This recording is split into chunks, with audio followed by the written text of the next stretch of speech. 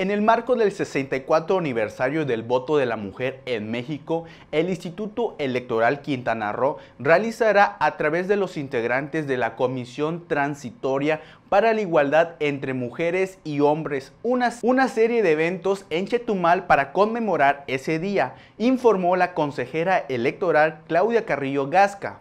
Como parte de la agenda de actividades, en coordinación con el Tribunal Electoral de Quintana Roo, el IECRO, organiza la conferencia El Voto de la Mujer, que será impartida por Gabriela Rubalcaba García, secretaria académica del Centro de Capacitación Judicial del Tribunal Electoral del Poder de la Federación, y que se realizará el día 18 de octubre a las 10 horas en el planetario de Chetumal.